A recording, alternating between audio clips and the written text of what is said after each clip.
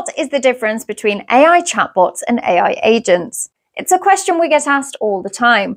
Traditional AI chatbots follow scripts and dialogue flows, providing limited and often generic responses. AI chatbots are great for answering straightforward questions. In contrast, AI agents take it to the next level, using advanced language models and natural language processing to understand context and nuance, delivering dynamic, context aware responses that can adapt to complex queries. They make decisions based on the conversation and can handle a broader range of tasks with personalized assistance. This adaptability and continuous learning enable AI agents to provide a richer customer experience that make conversations more natural and outcome driven.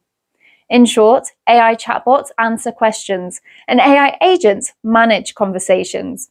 Want to see Webio AI agents in action?